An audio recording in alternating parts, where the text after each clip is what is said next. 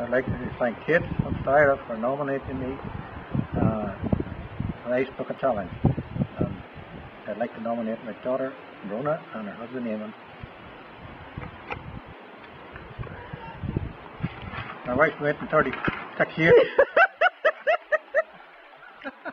oh, Let's go again. and now you, now you. Oh.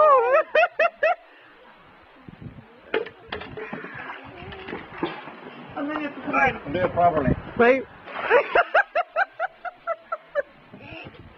36 years.